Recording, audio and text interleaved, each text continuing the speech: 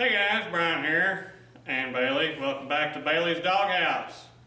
Or is it this old barn shop? Or maybe someday it'll be my shop. Anyway, uh, working on insulation, and it's time I can think for a January update. Uh, month's about over, and I should probably show you what's been going on here this month. So let's take a look. What do you think, Bailey? Is it good? It's nap time. Always nap time. So as you can see, looks like we've got most of a wall done. On that side over there, I've got the insulation in, all of the big holes. I've got to do the odd cuts still. I'm going to use up all those cut-offs from the rest of it to do that.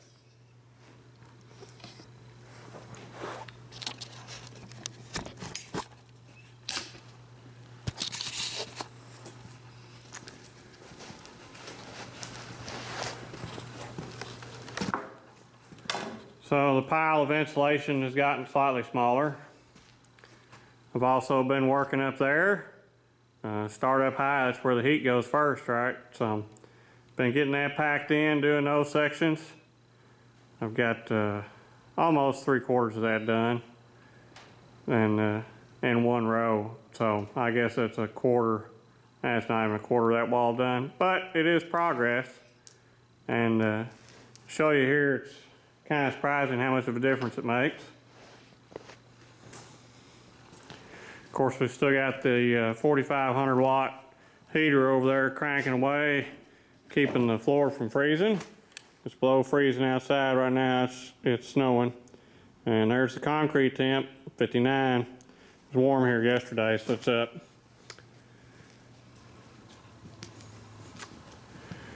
Let's take a look over here at the wall of insulation. It's a tall wall. But I found this interesting. Showing roughly 42 degrees on this insulation. And we're like 33 degrees on the outer wall. So even though there's no real heat in here to speak of, we're still managing to bring the temp up almost 10 degrees. So a little insulation goes a long way.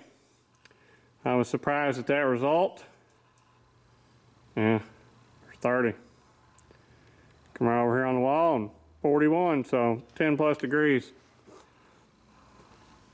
Also, I've been, uh, as I go along, any of the gaps in the siding, I fill in with spray foam to keep it nice. So critters won't be living in my walls.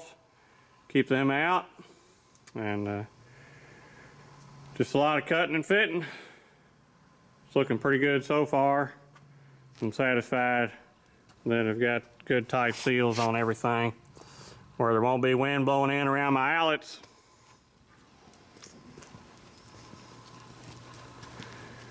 I got to move that one down there. I changed my mind about how these were mounted and uh, put a 2x4 behind them it makes the outlet a lot stiffer than just screwing through the side of it.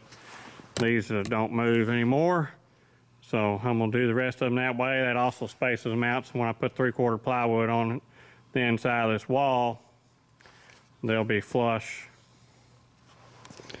Bailey likes that.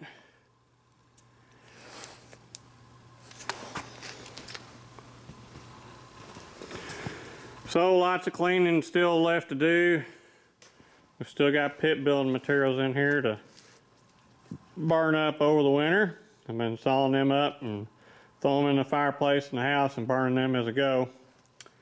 Still got that transmission case job. I'm kind of hoping I can get the boring mill moved in here and uh, use it to do that. I think that'd be the best machine for doing that deep hole repair and that. And that uh, be as soon as I can get weather to do it. It's either super muddy or too cold for the truck to start. So hopefully one of these days it'll dry out. Right now, it's uh, you walk outside, you sink to your knees almost. But still got quite a bit of insulation to go and when I get all this put in, I still got uh, two more full pallets to go get to finish this out. So, eating it up. There's the drill. Still hadn't fallen in half yet, so I'm kind of happy about that. It's been through a lot of cold weather and temperature swings up and down, going from you know zero one day to 50 or 60 the next day. And so far it's hanging in there, so that's good.